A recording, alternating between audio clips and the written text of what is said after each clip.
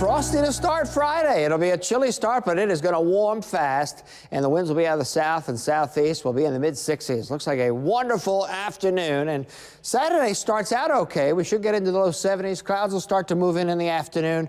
Looks like we'll have some rain chances arriving Saturday night, carrying over into Sunday. Might be some clearing late in the day, especially west and northwest of Jackson. Next week, mild temperatures. Another rain chance comes along about Thursday.